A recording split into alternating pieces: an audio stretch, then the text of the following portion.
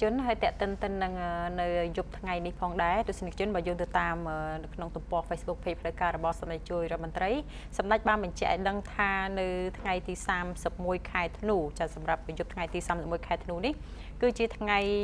ចុងក្រោយនៃឆ្នាំ2018ហើយនៅយប់នេះសម្ដេចនាយករដ្ឋមន្ត្រីនិងសម្ដេចគតិប្រិមណ្ឌិតនឹងចូលរួមឆ្លងឆ្នាំសកល2018ចូលឆ្នាំ2019នៅឯវិមានអនុស្សាវរីយ៍ឈ្នះឈ្នះដែលទើបនឹងសម្ពោធកាលពីថ្ងៃទី29ខែធ្នូកន្លងទៅថ្មីថ្មីនេះសម្ដេចបានបញ្ជាក់បន្ថែមថាបងប្អូនអាចនាំកូនចៅមកកំសាន្តសប្បាយនៅវិមានឈ្នះឈ្នះដែលមានកម្មវិធីប្រគំតន្ត្រីនិងស្តង់ពិព័រណ៍ជាច្រើនព្រមទាំងពិធីបាញ់កាំជ្រួចឆ្លងឆ្នាំផងដែរចំពោះវត្ថុអនុស្សាវរីយ៍និងម្ហូបអាហារវិញ គឺមានលក់ត្រៀបត្រានៅតាមស្តង់នៅក្នុងបរិវេណវិមានឈ្នះឈ្នះ សម្ដេចបានអញ្ជើញបងប្អូនជនរួមជាតិទេសចរជាតិនិងអន្តរជាតិព្រមទាំងកូនក្មួយយុវជនចូលរួមឆ្លងឆ្នាំសកលនៅវិមានឈ្នះឈ្នះជប់នេះឲ្យបានច្រើនកកដើម្បីបានឃើញច្បាស់នៅសោភ័ណភាពវិមានប្រវត្តិសាស្ត្រនាពេលរាត្រីទៀតផងសម្ដេចតេជោនិងសម្ដេចកតេប្រមណ្ឌិតក៏បានសូមប្រគេនពរព្រះតេជគុណគ្រប់ព្រះអង្គនិងសូមជូនពរបងប្អូនជនរួមជាតិទាំងក្នុងនិងក្រៅប្រទេស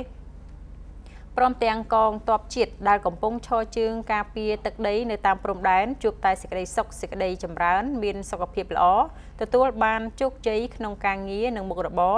និងមានលៀបសំណាងគ្រប់គ្រប់គ្នានៅក្នុងឆ្នាំ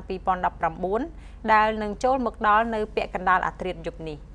បាទយប់មិញនេះម្នាក់ម្នាក់ក្រៅតែអំពីទៅកំសាន្តដើម្បី នៅក្នុងឱកាសជប់សម្រាប់ពេលរាត្រីរបស់ខ្លួនផងនោះគឺអ្នកដែលចង់ទៅបំផុតនោះចង់ទៅមើលវិមានឈ្នះឈ្នះជំនាញថាទីតាំងនៃសំណង់តែម្ដងយប់មិញនេះខ្ញុំក៏បានទៅដែរតែមកចេះមកមុនតាន់កុំឲ្យជាប់ផ្លូវជាមួយគេទាំងអស់គ្នាបងប្អូនប្រជាប្រដ្ឋរបស់យើងទៅច្រើនច្រើនសម្រាប់ច្រើនណាស់វិជ្ជាការច្រើនមែនតើខ្ញុំគ្រាន់ខ្ញុំគ្រាន់តែសួរទេខ្ញុំមិនមែនសួរហើយក៏ខ្ញុំស្ដាប់ឮគាត់ជជែកគ្នាគាត់ថាគាត់ទៅមនុស្សដែលមកចូលរួមនឹងអាចថាច្រើនជាងបុណ្យរំទុកទៀត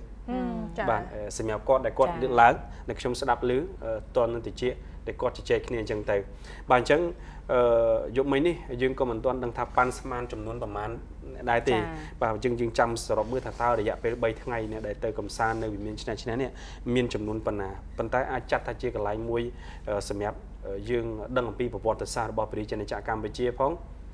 បាទហើយនឹងពាក់ព័ន្ធទៅនឹងទីកន្លែងសម្រាប់កំសាន្តផងនិងជាកន្លែងលំហែកាយរបស់យើងផងហើយនឹងហាត់ប្រាណផងបាទអញ្ចឹងអញ្ជើញទៅទាំងអស់គ្នានៅក្នុងរាត្រីនេះបាទឥឡូវនេះយើង